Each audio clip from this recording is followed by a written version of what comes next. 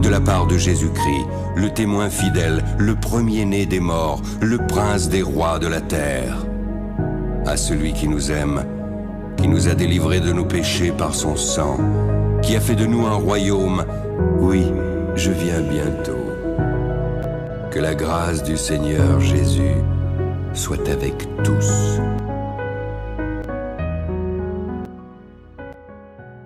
Bonjour à tous chers frères et sœurs, j'espère que vous allez bien, moi ça va très très bien. Nous allons parler aujourd'hui d'un sujet qui est, il faut l'aborder, euh, le sujet de la foi et de la loi, donc de la grâce et de la loi hébraïque. Aujourd'hui il y a beaucoup de choses qui euh, ne tournent plus rond dans le corps de Christ et euh, beaucoup de gens sont en train de s'égarer dans des vaines philosophies, dans des pensées qui ne sont pas des pensées bibliques, qui sortent du cadre des Écritures. Et euh, aujourd'hui, malheureusement, euh, c'est de plus en plus récurrent. J'entends vraiment jour après jour des gens qui, euh, qui font n'importe quoi avec la parole de Dieu, qui ne sont absolument pas guidés par l'esprit, qui rajoutent des choses, qui en enlèvent, qui s'inventent des, des, philosophies humaines, charnelles, hein, et qui, comme Paul le disait, ne sont même pas des chrétiens spirituels, mais des chrétiens charnels. Et en fait, aujourd'hui, j'aimerais vous parler de la grâce et de la loi, de la foi également, parce qu'en fait, dans la tête des enfants de Dieu, des chrétiens, il y a aussi beaucoup de confusion sur ce sujet-là. Ça divise énormément euh, les assemblées. Ça montre une chose aussi, c'est que euh, les gens ne comprennent pas parfois euh, le, concept de la foi, de la loi et de la grâce. et parfois même, on, a tendance à croire que pourquoi Jésus a dit que euh, pas un seul trait de la loi ne disparaîtrait euh, avant que le ciel et la terre ne soient passés. Donc là, on est en train de se poser des questions en se disant, mais regarde, on va encore faire la loi, étant donné que Jésus a dit cette phrase-là. Et en fait, toujours les choses sont sorties de leur contexte. Hein. Les hommes aiment bien euh, ajouter des choses, les hommes aiment bien retrancher, aiment bien euh, philosopher en pensant bien faire, mais parfois euh, c'est écrit noir sur blanc, il n'y a pas à chercher plus loin en fait. Les gens aiment bien se compliquer la tâche, y compris avec les Écritures et avec leur relation avec le Seigneur. Et on est exactement dans le même concept que les pharisiens de l'époque aujourd'hui, avec beaucoup d'enseignants qui veulent enseigner, voilà, qui, qui se lancent dans l'enseignement, alors que la Bible nous dit bien soyez peu nombreux à enseigner, parce que déjà il y avait un jugement deux fois plus sévère, et parce que il faut faire attention à ce qui est enseigné. Et aujourd'hui, euh, j'entends même des gens, des pasteurs, avec qui je euh, j'entends bah, des audios ou j'entends des, des prêches, qui racontent, mais vraiment, chers frères et sœurs, n'importe quoi. Donc c'est pour ça que je vous dis toujours, faites attention à ce que vous écoutez et à ce que vous regardez sur Internet. Paul le dit bien, il faut avoir le discernement des esprits, il faut retenir ce qui est bon, il faut analyser toutes choses. Donc il ne faut pas croire tout ce que vous allez entendre sur Internet. J'ai toujours donné cet exemple-là, et je vais vous le redonner aujourd'hui. Lorsque l'on cherche volontairement ou involontairement à apporter de la mauvaise nourriture spirituelle, donc un gâteau qui est empoisonné, on n'arrive pas avec un gâteau qui a une forme horrible, mais on arrive avec un gâteau qui est beau. Donc il y aura toujours des enseignements qui seront par exemple annoncés par quelqu'un qui seront bons, qui seront beaux de l'extérieur, mais qui malheureusement seront dilués par de la fausseté, par des choses qui sont ajoutées, retirées, euh, et parfois même par des hérésies, des mensonges. Parce que la personne pensera que c'est plus comme ça, alors que la Bible nous explique que c'est complètement l'inverse. Donc faites attention, chers frères et sœurs. Comme je vous dis, soyez vigilants, vraiment.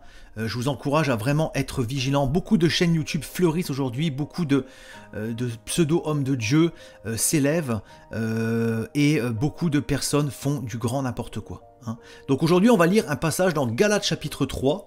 Nous allons regarder ce que la parole de Dieu nous dit sur la loi et la foi vous allez comprendre un petit peu mieux pas mal de choses. Et je pense qu'à partir de cette vidéo-là, à la fin, vous comprendrez que voilà, on n'a plus du tout à être placé sous une quelconque loi euh, et sous une, quelconque ordonnance de la loi. Parce que vous aviez dans l'ancienne époque la loi hébraïque, Hein, et vous aviez donc les, ordonnances de la loi. Les ordonnances de la loi, c'était des annexes, un petit peu comme euh, on peut retrouver. Euh, vous avez les grands traits et vous avez quelques annexes en dessous. Par exemple, euh, on peut retrouver des passages dans la parole de Dieu où les juifs de l'époque du Sanhédrin ont fait des reproches à Jésus, lui disant Pourquoi tu ne te laves pas les mains avant de prendre le repas? Il y avait cette tradition, euh, et voilà, j'emploie le bon mot, il y a beaucoup de traditions, Jésus leur a dit, euh, vous annulez les commandements de Dieu pour observer vos traditions. Parce qu'ils avaient, figurez-vous, euh, interdit une certaine loi qui était d'honorer son père et, sa mère, sous prétexte de, de tradition humaine. Jésus l'a reproché de façon très clairement. et d'ailleurs, on va regarder ce passage. Donc vous allez retrouver ce passage, regardez bien, là on a un exemple concret de personnes qui euh, reprochent à Jésus de ne pas suivre une ordonnance de la loi, de se laver euh, les mains euh, avec des mains, donc des mains impures avant de prendre le repas, mais qui en contrepartie, vous allez voir, donc ils se permettent de faire ça, mais ils annulent un commandement que Dieu a donné qui est celui d'honorer son père et sa mère. Donc là, on est vraiment dans un exemple typique de ce qu'on peut retrouver aujourd'hui, où on a des, pseudo-pasteurs, comme je vous disais, qui disent euh, vous devez faire ça, ça, ça, ça. Et au final, ils enlèvent aussi parfois à côté des choses très très importantes et salutaires. Donc Marc chapitre 7 du verset 5, euh, on va commencer au verset 5, et les pharisiens et les scribes lui demandèrent pourquoi tes disciples ne suivent-ils pas la tradition des anciens? Donc là on parle bien de tradition, hein, regardez bien, hein. mais prennent-ils leur repas avec des mains impures? Jésus leur répondit, hypocrite, Ésaïe a bien prophétisé sur vous, ainsi qu'il est écrit Ce peuple m'honore des lèvres, mais son cœur est éloigné de moi. C'est en vain qu'il m'honore en donnant des préceptes qui sont des commandements d'hommes. Regardez bien ce que Jésus dit. Donc là, on n'est plus dans des préceptes bibliques de Dieu, on est dans des préceptes qui sont des commandements d'hommes. Vous abandonnez le commandement de Dieu et vous observez la tradition des hommes. Il leur dit encore, vous anéantissez fort bien le commandement de Dieu pour garder votre tradition. Car Moïse a dit, honore ton père et ta mère, et celui qui maudira son père et sa mère sera puni de mort. Mais vous, vous dites, si un homme dit à son père ou à sa mère, ce dont j'aurais pu t'assister est euh, corban, c'est-à-dire une offrande à Dieu, vous ne le laissez plus rien faire pour son père et pour sa mère, annulant ainsi la parole de Dieu par votre tradition euh, que vous avez établie et vous faites beaucoup d'autres choses semblables. Donc il n'y avait pas que ça, il y avait encore plein d'autres choses. Et donc là, qu'est-ce qu'il faisait? Donc il disait euh, de façon très claire, on le voit dans ce passage, comme les gens par exemple donnaient une, euh, une offrande dans le, le, Sanhédrin pour le Seigneur, par exemple, j'ai une bêtise, voilà, Paul venait faire une offrande, par exemple, de 50 euros pour l'œuvre de Dieu euh, au Sanhédrin, eh ben, euh, les, grands, les grands pharisiens de l'époque lui disaient, bon bah écoute, vu que tu donné pour Dieu, tu n'es plus obligé de donner à tes parents, donc tu n'es plus obligé de euh, tout simplement d'honorer ton père et ta mère. Euh, honorer son père et sa mère, c'était aussi ben, leur venir en aide financièrement lorsqu'il en avait besoin. Donc comme tu as donné pour Dieu, ben, ne t'inquiète pas, euh, cette parole de Dieu est effacée. voilà, tu as fait l'œuvre de Dieu en priorité, donc on ne respecte plus. On a des exemples comme ça aujourd'hui où, par exemple, bon ben comme tu fais l'œuvre de Dieu, ne t'inquiète plus pour ta famille, concentre-toi sur l'œuvre de Dieu, sur l'assemblée, ne t'occupe plus de ton frère, de ta mère, de tes sœurs, laisse-les, euh, ils sont entre les mains de Dieu. Là, on n'est plus du tout non plus dans l'amour de Christ. La Bible nous dit bien que celui qui n'a pas l'amour n'a jamais connu Christ. Donc quand on agit comme ça, quand on, met, on met toute sa famille de côté, qu'on tombe dans une forme de légalisme et euh, qu'on n'est plus du tout dans l'amour de Christ, eh ben, on est à défaut avec Dieu. Comment voulez-vous que Dieu agrée ce genre de comportement qui est un genre de comportement sacrificiel où on va euh, prêcher euh, et où on va aller travailler pour le Seigneur alors que dans notre vie, dans notre relation avec nos proches, on a envoyé promener tout le monde? J'ai déjà vu euh, des gens qui, ben, comme on leur annonçait l'évangile, ces personnes-là n'ont pas reçu vraiment le Seigneur, parce que la Bible nous dit il y a un temps pour tout et peut-être leur temps n'était pas voulu. Et heureusement, heureusement que euh, moi-même, je n'ai pas euh, dit euh, à certaines personnes, bon ben voilà, je non, bah t'as pas voulu recevoir les gens je te laisse tomber. Il m'a fallu parfois prêcher, parler du Seigneur pendant deux longues années pour toucher certaines personnes autour de moi. Et Dieu merci, Dieu leur a ouvert le cœur et à, sa grâce et ils sont venus à Christ. Mais malheureusement, parfois on voit que au bout d'un prêche ou deux, voilà, on annonce un peu le Seigneur, on voit que la personne n'est pas très ouverte, et ben en fait, on raye la personne de sa vie, on met la personne complètement de côté, Et là, on est déjà en train de refaire encore du n'importe quoi, parce que la Bible ne nous dit pas de, nous comporter comme ça. Donc, euh, on n'est plus dans l'amour de Christ, en tout cas, avec un tel comportement. Et on a plein de choses comme ça, où on tombe dans une forme de légalisme, où on tombe dans une forme d'extrémisme religieux, euh, et là, on sort complètement du cadre de l'amour du Seigneur Jésus-Christ. Euh, on n'a plus la patience, on n'a plus la tempérance, on n'a plus la persévérance, qui sont des traits quand même du Saint-Esprit en nous.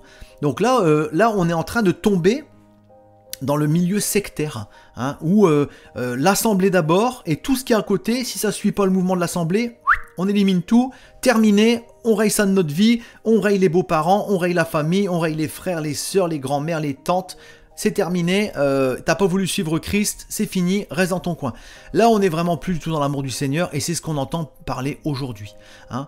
Donc aujourd'hui, surtout, ce qu'il faut retenir, c'est que la loi de Dieu, c'est quelque chose qui est euh, fini, qui est passé, qui a été accompli par le Seigneur Jésus-Christ à la croix, qui a été donc euh, réalisé. Euh, et cette loi, en fait, est toujours en vigueur dans le cœur et dans le comportement des gens. C'est-à-dire qu'en fait, cette loi va venir nous montrer notre état de pécheur. Hein. elle vient nous montrer notre état de pécheur.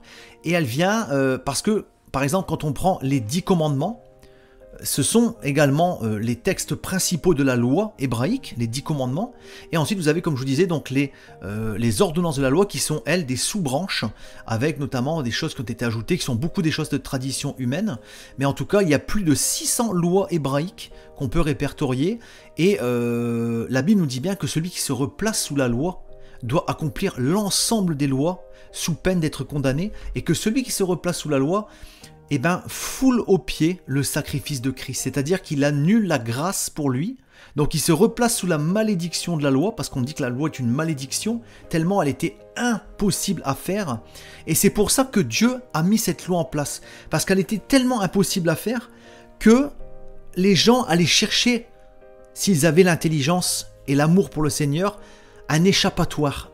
Et l'échappatoire, c'est cette grâce que le, Jésus, euh, le Seigneur Jésus nous a donnée le Christ nous a donné. Donc, les gens courent, s'enfuient de la loi pour s'accrocher à la grâce.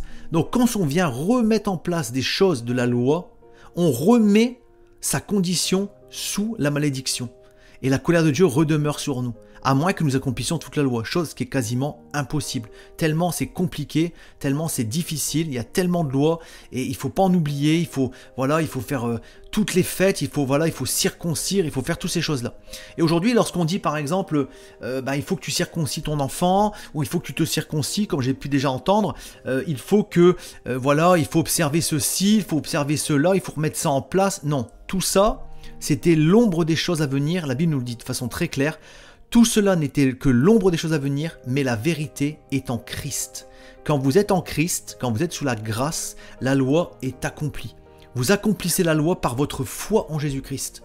Donc il n'y a plus aucune ordonnance de la loi à suivre, il n'y a plus euh, euh, aucun commandement non plus à suivre, parce que les commandements, tout simplement, vont se euh, s'appliquer d'eux-mêmes dans votre vie. Par votre foi, votre amour Attention, je ne dis pas que nous ne devons plus suivre les dix commandements, je dis bien que les dix commandements ne sont plus à suivre parce que vous allez les accomplir de vous-même par votre foi en Christ. Si vous avez la foi en Christ, vous mettrez votre vie en règle. Si vous mettrez votre vie en règle, vous ne transgresserez plus les commandements de Dieu à cause de votre foi et à cause de votre amour.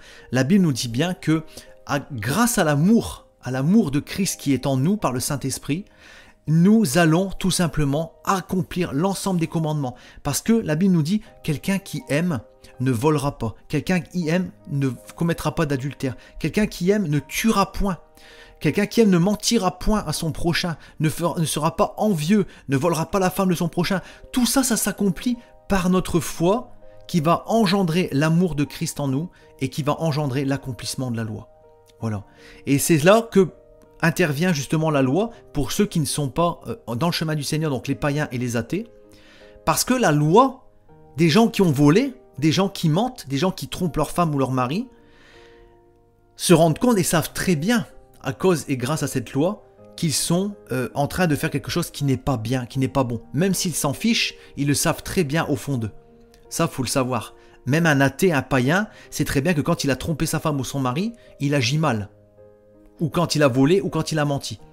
C'est parce que la loi est inscrite dans le cœur de l'homme, euh, et c'est ce que le, livre de Galates 3 euh, nous explique de façon très bien. Euh, ça montre bien une chose, c'est que voilà, cette loi va condamner, les gens seront jugés par cette loi, ceux qui ont rejeté la grâce de Christ. Parce que Dieu leur dira, tu as menti, tu as volé, tu as tué, tu as fait ceci, tu as fait cela. Et il n'y aura rien pour les justifier parce qu'ils n'auront ni foi en Christ, ni grâce automatiquement.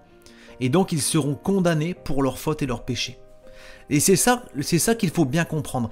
Et le passage qui nous dit de façon très claire, où Jésus nous explique que euh, aucun trait de la loi ne disparaîtra jusqu'à ce que le ciel et la terre euh, soient passés, ne veut pas dire absolument pas que nous sommes encore sous la loi ou une quelconque ordonnance de la loi, mais cela veut expliquer notamment au peuple juif, Jésus expliquait au peuple juif, parce que là il parlait bien aux juifs, il ne parlait pas euh, à d'autres nations, il leur disait que ça, ça ne passera pas, parce que vous êtes en train de refuser la grâce. Il leur disait indirectement, vous êtes en train de refuser la grâce. Donc cette loi restera jusqu'à la fin, jusqu'au retour, quand le, ciel va se reculer, le ciel va passer au moment de la descente du Seigneur Jésus-Christ sur le mont des Oliviers. C'est là que le ciel va se dérouler comme un livre, il va s'enrouler plutôt comme un livre, et en fait, c'est là que la loi sera terminée parce que l'histoire de l'humanité se terminera avec la descente du Seigneur, le jugement des nations et l'établissement du royaume de Dieu sur terre. Donc, jusqu'à ce moment-là, tous ceux qui auront refusé la grâce seront encore sous cette loi maudite jusqu'au retour du Seigneur où le Seigneur Jésus-Christ va tout arrêter, tout renverser et tout changer. Hein. Euh, et donc là, il faut bien comprendre ce passage-là, il faut vraiment bien comprendre le contexte. Hein. Euh, mais aujourd'hui, euh, cette loi, comme je vous le disais, elle a été, on va dire, mise en suspens par la grâce du Seigneur Jésus-Christ à tous ceux qui placent sa foi en lui. Donc aucune, aucune, aucune, aucun besoin de se circoncire, de faire des choses de la loi, de pratiquer des choses de la loi. Tout ça, chers frères et sœurs, par votre foi en Christ, s'accomplit de lui-même. Donc, si quelqu'un vous dit, il faut circoncire ceci, il faut faire cela, il faut pratiquer cette fête, il faut... Non, tout ça, c'est comme l'histoire du sabbat en fait. On est dans le même contexte que le sabbat. Le sabbat euh, est un repos spirituel et un repos physique. J'avais expliqué dans la vidéo que le sabbat, Jésus n'a pas pratiqué le sabbat. Il était pourtant avec il a travaillé le jour du sabbat, il a fait des choses. Donc il n'a pas observé cette loi qui est quand même l'un des dix commandements. Et donc, qu'est-ce qui s'est passé? Le repos spirituel en Christ, c'est pareil, il a été accompli par notre foi. Donc c'est pour ça que Jésus a dit, je suis le maître du sabbat. Quand vous avez votre foi en Christ, vous êtes sous la grâce, vous accomplissez la loi de vous-même. Et donc le sabbat, c'est un repos avant tout spirituel. C'est pour ça que quand nous sommes avec Christ, avec la foi en Jésus-Christ, ben nous sommes dans son repos parce que nous, nous, nous en allons vers le repos éternel, vers la demeure éternelle, vers la gloire de Dieu. Et euh, chaque jour, nous n'observons ne, pas, euh, comme les Juifs, euh, un moment déterminé pour adorer Dieu. Nous adorons le Seigneur Jésus-Christ et nous le remercions chaque jour, chers frères et sœurs. Chaque jour, nous sommes dans sa présence par la lecture biblique. Chaque jour, nous sommes dans sa présence par la louange, par l'adoration, par les remerciements à Christ, par la prière, par toutes ces choses.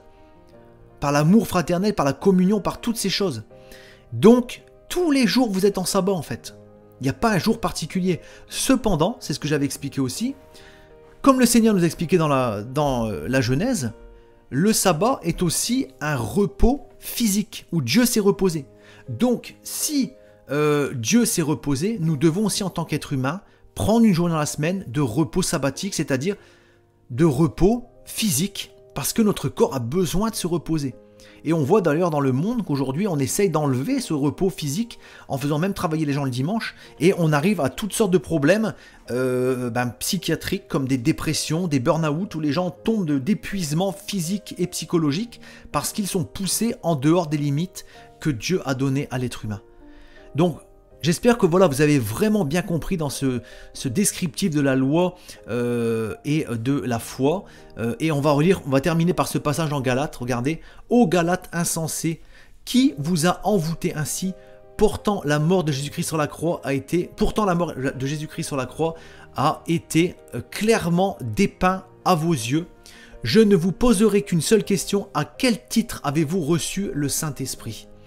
Est-ce parce que vous avez accompli la loi ou parce que vous avez accueilli avec foi l'évangile que vous avez entendu? Manquez-vous à ce point d'intelligence? Regardez ce que Paul dit. Les gens qui se replacent sous la loi, Paul leur dit, êtes-vous aussi bêtes que ça?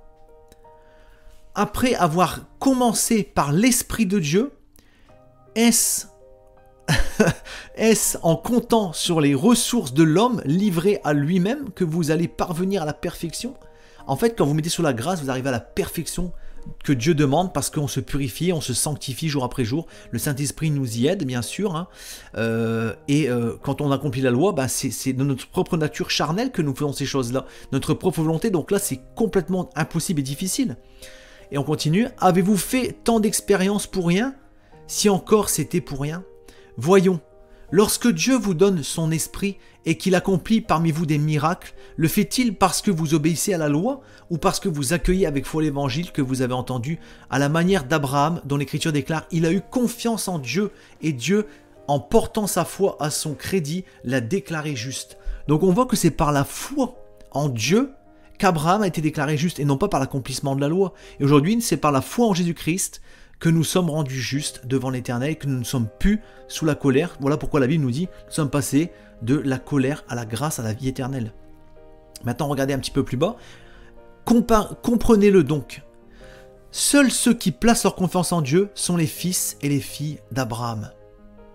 En fait, l'Écriture prévoyait que Dieu déclarerait les non-juifs justes s'ils avaient la foi. Donc là, on parle de nous, on parle des nations du monde entier. C'est pourquoi elle a annoncé par avance cette bonne nouvelle à Abraham. Tu seras une source de bénédiction pour tous les peuples. Ainsi, tous ceux qui font confiance à Dieu, comme Abraham, lui a fait confiance, on part à la bénédiction avec lui. Donc là, on parle de la foi en Christ. Hein. En effet, ceux qui comptent sur leur obéissance à la loi tombent sous le coup de la malédiction. Vous imaginez, on parle de malédiction. Car il est écrit, maudit soit l'homme qui n'obéit pas continuellement à tout ce qui est écrit dans le livre de la loi. Donc c'est quasiment, comme je disais, impossible à accomplir. Il est d'ailleurs évident que personne ne sera déclaré juste devant Dieu grâce à son obéissance à la loi, puisque l'Écriture déclare le juste vivra grâce à la foi. Donc Paul le dit bien, ça ne sera pas possible. Ce ne sera pas possible d'être déclaré juste par l'obéissance à la loi. Et ce sera, donc par la foi en Jésus-Christ. Or, le régime de la loi ne fait pas dépendre de la foi, de la justice de l'homme devant Dieu. Au contraire, il obéit à cet autre principe, celui qui appliquera ses commandements vivra grâce à cela. Christ nous a libérés de la malédiction de la loi, faisant peser sur nous, en prenant la malédiction sur lui. Donc là, c'est là qu'on voit que, en fait, quand on dit Christ a tout accompli, c'est parce qu'il a pris sur son corps les stigmates de la loi par le sacrifice parfait, par son sang qui a coulé, par les coups de fouet, par tout ça, l'humiliation. Il a pris en fait les péchés du monde entier, il a pris cette malédiction sur lui, à notre place. Il est en effet écrit, maudit est quiconque est pendu au gibet. Jésus-Christ l'a fait pour que grâce à lui, la bénédiction d'Abraham s'étende aux non-juifs et que nous recevions par la foi l'Esprit que Dieu avait promis. Donc là, ce passage nous montre les choses de manière très très claire. Et on continue un petit peu plus bas.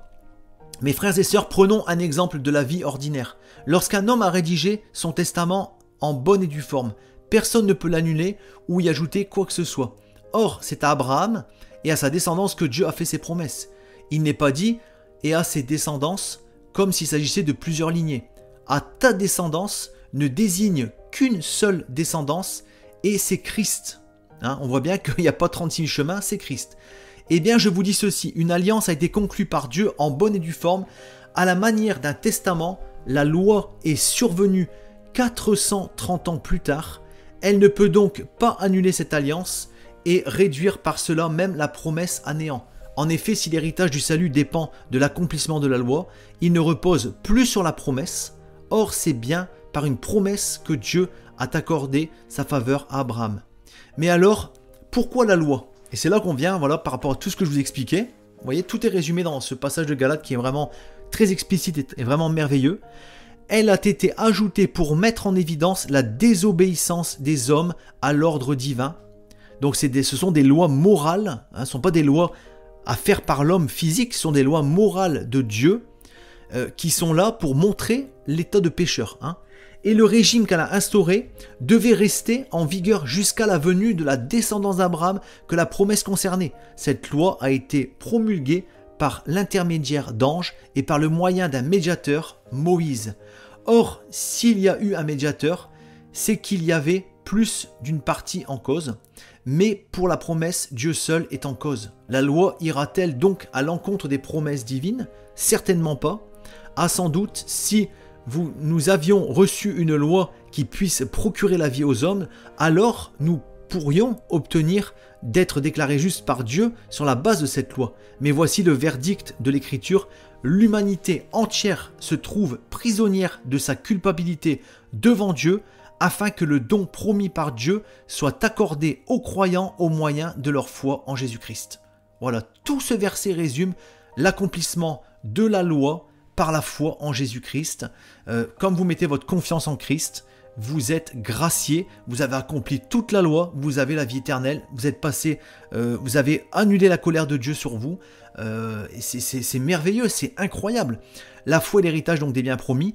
Avant que soit inauguré le régime de la foi, nous étions emprisonnés par la loi et sous sa surveillance dans l'attente du régime de la foi qui devait être révélé. Ainsi la loi a été comme un gardien chargé de nous conduire à Christ pour que nous soyons déclarés justes devant Dieu par la foi, mais depuis que le régime de la foi a été instauré, nous ne sommes plus soumis à ce gardien. Donc voilà pourquoi il n'est pas bon de retourner en arrière sous la loi. C'est une malédiction, chers frères et sœurs. En aucun cas, vous ne devez remettre en place dans vos vies un quelconque trait de la loi ou un quelconque trait d'une ordonnance de la loi. C'est se remettre sous la malédiction et c'est annuler le sacrifice de Christ. C'est piétiner le sang du, sacrifice de Christ. C'est très très grave. Très très grave, c'est salutaire. Si vous faites ça, vous pouvez passer à côté de votre salut, vous pouvez passer et vous replacer sous la colère de Dieu. Parce que en fait, vous, c'est comme si vous crachiez sur le sacrifice de Christ. C'est très très très très grave, mes frères et sœurs. Faites attention que quelqu'un ne vous enseigne pas des faussetés comme ça. Car par la foi en Jésus-Christ, vous êtes tous filles et fils de Dieu, car vous tous qui avez été baptisés par Christ, vous vous êtes revêtus de Christ. Il n'y a donc plus ni juif, euh, ni non-juif, il n'y a plus ni esclave, ni homme libre, euh, il n'y a plus ni homme ni femme, unis à Jésus-Christ, vous êtes tous un. Si vous lui appartenez, vous êtes la descendance d'Abraham et donc aussi les héritiers des biens que Dieu a promis à Abraham. Voilà, chers frères et sœurs, ce que je voulais vous dire aujourd'hui par rapport à la loi, par rapport à la grâce. Euh, j'espère qu'aujourd'hui ce sera un peu plus clair dans vos têtes, l'accomplissement de cette loi. quand Jésus a dit tout est accompli, c'est-à-dire que Jésus avait accompli la parfaiteté, entièreté du plan divin euh, en euh, tout simplement en accomplissant euh, ben, tout simplement la, volonté de Dieu pour l'homme, en se sacrifiant et en portant sur lui la loi. Voilà. Et donc, par votre foi, vous vous placez sous la grâce, vous accomplissez la loi ben, tous les jours par votre foi en Jésus-Christ et par votre amour qui va en découler. Hein. Euh, et vous êtes tout simplement passé de la colère à la vie éternelle. Vous êtes tout simplement prédestiné à la vie éternelle. Donc frères et sœurs, voilà ce que je voulais vous dire. C'est très important cette vidéo parce que Vraiment, euh, je vois tellement de choses, j'essaye de rétablir sur cette chaîne une certaine vérité afin que les gens puissent marcher dans l'obéissance de Christ et ne plus se laisser avoir, comme Paul le disait, à tout vent de fausses doctrines. Donc faisons attention, chers frères et sœurs, à ces choses-là, et n'oubliez pas que là, on parle d'un sujet qui est salutaire. C'est salutaire aujourd'hui ce que je vous dis. Donc euh, ne retombons pas sous la malédiction, euh, ne, revenons pas dans le, le chemin des ténèbres qu'est la loi, mais marchons dans le chemin de la lumière qu'est Christ sous la grâce. Hein. Voilà, soyez bénis chers frères et sœurs, et je vous dis donc à très bientôt pour une prochaine vidéo. Tout pouvoir m'a été donné dans le ciel et sur la terre. Il y a plusieurs demeures dans la maison de mon Père. Si cela n'était pas, je vous l'aurais dit, je vais vous préparer une place. Et lorsque je m'en serai allé et que je vous aurai préparé une place, je reviendrai, et je vous prendrai avec moi, afin que là où je suis, vous y soyez aussi. Vous savez où je vais, et vous en savez le chemin. Je suis le chemin, la vérité et la vie. Nul ne vient au Père que par moi. Abraham, votre Père, a tressailli de joie de ce qu'il verrait mon jour. Il l'a vu, et il s'est réjoui. Si vous me connaissiez, vous connaîtriez aussi mon Père, et dès maintenant vous le connaissez, et vous l'avez vu. Et je vous le dis, avant qu'Abraham fût, je suis. Seigneur, montre-nous le Père, et cela nous suffit. Jésus lui dit, Il y a si longtemps que je suis avec vous, et tu ne m'as pas connu, Philippe. Celui qui m'a vu a vu le Père. Comment dis-tu, montre-nous le Père?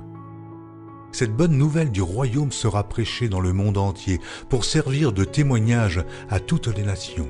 Celui qui croira et qui sera baptisé sera sauvé, mais celui qui ne croira pas sera condamné. Je m'étonne que vous vous détourniez si promptement de celui qui vous a appelé par la grâce de Christ pour passer à un autre évangile. Aucun mensonge ne vient de la vérité. Sinon celui qui nie que Jésus est le Christ, celui-là est l'antéchrist, qui nie le Père et le Fils. Quiconque nie le Fils n'a point non plus le Père. Quand un ange du ciel annoncerait un autre évangile que celui que nous vous avons prêché, qu'il soit anathème. Moi, Jésus, j'ai envoyé mon ange pour vous attester ces choses. Je le déclare à quiconque entend les paroles de la prophétie de ce livre. Si quelqu'un y ajoute quelque chose, Dieu le frappera des fléaux décrits dans ce livre. Et si quelqu'un retranche quelque chose des paroles du livre de cette prophétie, Dieu retranchera sa part de l'arbre de la vie et de la ville sainte décrit dans ce livre.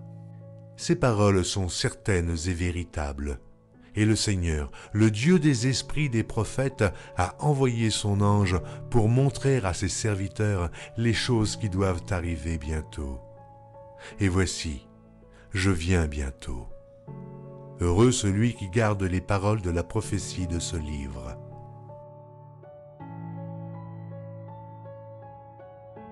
Voici, il vient avec les nuées, et tout œil le verra, même ceux qui l'ont percé. Et toutes les tribus de la terre se lamenteront à cause de lui. Oui. Amen. Je suis le rejeton et la postérité de David, l'étoile brillante du matin. Je suis l'alpha et l'oméga, dit le Seigneur Dieu, celui qui est, qui était et qui vient, le Tout-Puissant le premier et le dernier, le commencement et la fin. Que la grâce du Seigneur Jésus soit avec tous. Moi, Jésus, je viens bientôt. Vous êtes d'en bas, moi je suis d'en haut. C'est pourquoi je vous ai dit que vous mourrez dans vos péchés. Car si vous ne croyez pas ce que je suis, vous mourrez dans vos péchés.